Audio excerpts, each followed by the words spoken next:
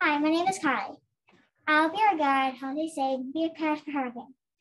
A few things you can do is stay away from long as you can foot.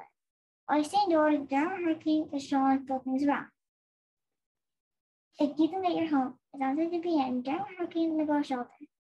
Or if your home is not hiding, go shelter too. If you are in your home during a hurricane and board up windows, bring in things from outside and toss far away.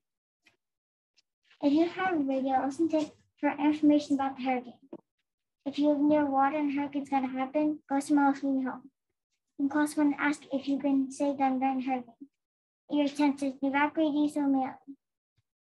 If you have a pet and a hurricane's gonna happen, call the veterinarian for information how to care properly during hurricane.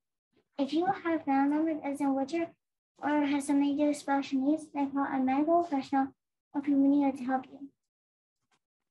Hurricanes can make floods, build levees for us to hold back the water.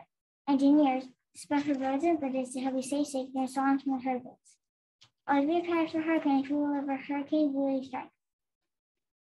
May have to pack of things just in case. Have food or flashlight, battle data, extra clothes, make sure your car is full tank. Get money and other supplies that you think necessary. Make sure your supply of food, water, and custody is. Always have a first aid kit handy for hurricane. In conclusion, hurricanes are dangerous, and it's good to be prepared and stay safe during one. I hope you enjoyed our presentation. Thank you.